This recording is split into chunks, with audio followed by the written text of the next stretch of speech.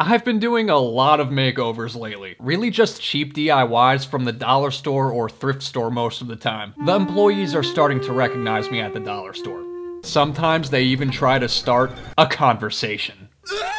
So today I've decided to just stay home away from everyone. I didn't feel like going anywhere or seeing anybody. So instead I just ordered some stuff online from Shein, which is basically this website where you can buy super cheap clothes. Mostly clothes. Trendy clothes. I'm not painting on clothes today though. Shein does have some other random cheap junk, some of which I picked out to customize or paint on in some way, because that's what I do. I take junk and turn it into other junk that I paint on.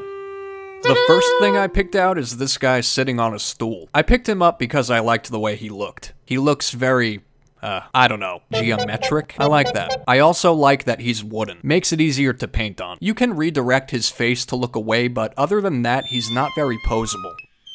Uh-uh. This is cool. It's one of these things, I didn't even know that. He's like falling off his stool. There's a button on the bottom and you just kinda press it and he falls apart. All it takes is one little push to make him snap.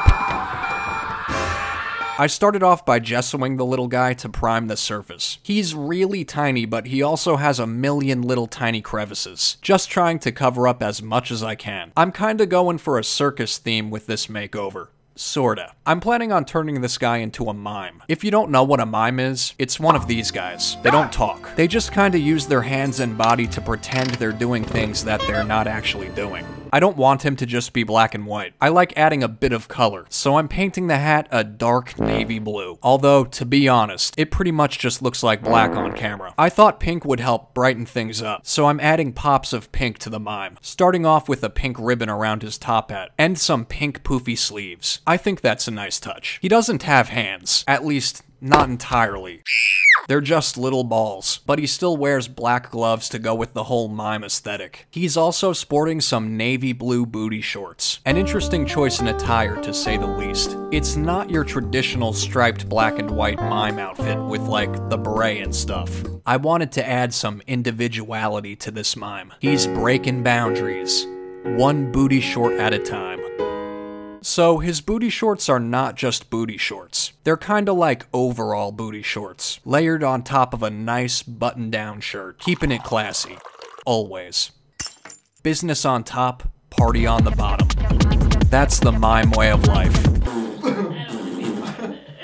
I didn't want his legs to blend in too much with his shorts, so I added some color to him. He has like this little stand that he's sitting on top of. I thought about just painting it a solid black color and whatnot, but ultimately I decided to go for a more circusy vibe. Like I said, this video is supposed to be loosely circus themed, so I felt like that little touch on the stand made it a bit more obvious that this mime works at a circus. My mime is missing his hands, so he really tries to make up for that with his face. He's looking a little scary slightly creepy. That's where the creepy part of Creepy Cute comes in. He wears a bit of makeup. It might look like his makeup smudged a bit, which is okay. It did. He's been crying a lot. He's sad. A sad, sad mime. He doesn't want to talk about it. The next thing I picked up was this pink rubber duck. He comes with some accessories. A giant gold chain around his neck, a hardcore motorcycle helmet with a little helicopter thing on top. And wouldn't want his eyes to betray any sign of innocence, so he's also adorned with some sunglasses. He's an edgy pink helicopter duck. Wow. On the back of his sunglasses, there's a little sticky thing, so that it could just stick onto his face. It's not quite doing its job though.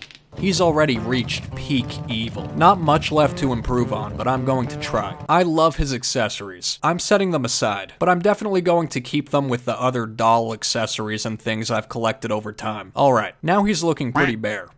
I'm starting off with wiping his face off with some acetone. I'm leaving his duck beak untouched. That can stay. I'm not completely transforming him. He's still going to be a duck, but he's going to have a different vibe to him. Keeping with the whole circus theme, I've decided to turn this duck into a clown. Clowns are pretty scary.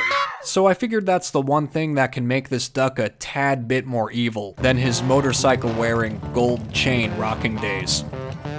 I'm sticking to pretty much the same color scheme as the mime. I wanted them to go together. They're in the same sad family, part of the same sad, Sad circus. I went in with acetone on a q-tip to do some cleaning up. I do want the pink on the duck to still kinda shine through. I'm not trying to completely erase his identity, just trying to enhance his features. Clowns have this little neck thing. I don't know a little collar thing. That's what this pink mess is supposed to be. I added some pom-poms to it. Felt cute at the time. In fact, I liked him so much, I added some giant pom-poms to his outfit. Obviously, at this point, I'm really feeling the pom-pom vibe. There is a giant hole under my clown duck. I think it might be so you can squeeze it, or perhaps it helps rubber ducks float in the water somehow. Not entirely sure about the function, but yeah. We can all move on. Needless to say, he won't be going for any more swim lessons. He's more meant for decor now. He's a land duck. A sitting duck. Okay, the duck looks like a clown, right? Kind of. Uh-uh. Except I felt there was still a key component missing. Crazy poofy hair. That's what this needs. So of course I sculpted some out of epoxy. A lot of clowns have this hairstyle where there's like these two crazy curly poofs on either side of their head, and the center is just bald. That's part of what makes clowns so creepy. I'm sorry if that's offensive to any clowns out there. I don't have any problems with you or your hair choices. In fact, I like your haircut. Maybe I'll try it out myself. And the bald spot was just looking too bald, so I added a little party hat there. There. Hats fix everything. No one will ever know. Uh-uh. And then I added the signature big red clown nose. I'm also going in with red for the hair. He's a redhead. Clowns are usually redheads or have rainbow hair. For the dark side, we're going with a redhead clown. I kept the party hat pretty simple. I feel like he already has a lot going on. Now I'm focusing on his face. He's got a big smile. But don't let that fool you. He's actually very, very sad. Just like the mime. Kind of a theme here. Life's a sad circus. The clown's out there putting on a show, trying to make people laugh. But on the inside, we all know he's suffering. I absolutely love how this clown duck turned out. Honestly wanna makes me make over even more rubber ducks. Honestly makes me wanna honestly makes me there's too many M's. Honestly makes me wanna make over even more rubber ducks. So if you liked this duck, then make sure you let me know by subscribing. just kidding, just kidding. You can if you want to. Do it. The last thing I ordered was this cursed thing. It's a hand. A little stiff, but I bet you could put some WD-40 in it to make it less stiff. It's very posable, so that's nice. Even the wrist moves. I'm painting it green since I'm planning on making it the Tutu Witch's hand. I am going for a circus theme with today's makeover. So what exactly does the Tutu Witch have to do with the circus? Absolutely nothing. But she showed up anyway to curse everyone with her farts.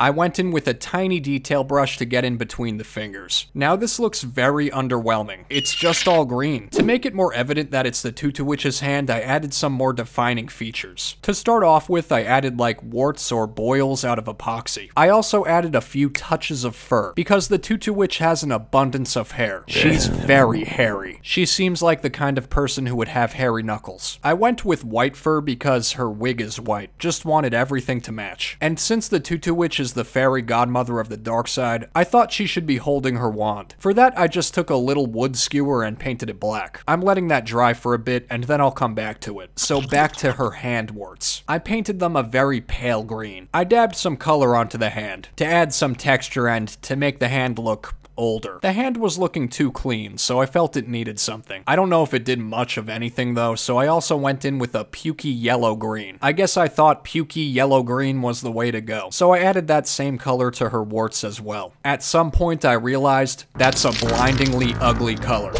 so I went back over it to tone everything down a notch. The Tutu Witch wanted a manicure, so I picked up some fake nails from the dollar store. Honestly, a lot more than I need. They're the Tutu Witch's nails. She's never heard of grooming, so I wanted her nails to be kinda wonky looking and chipped and stuff. I hot glued them on one by one. Things are already looking a lot better but she still needs some nail polish, of course. Why not? I don't have any nail polish on hand, so I'm just painting the Tutu Witch's nails with black acrylic paint. The knuckle hairs are a little overgrown, so I've trimmed them down to something more manageable, and I topped everything off with a star. I love how the Tutu Witch's hand turned out. This one's by far my favorite. I think it captures her vibe pretty well. Old, disgusting, and hairy. What's not to love? I love you too, sweetie.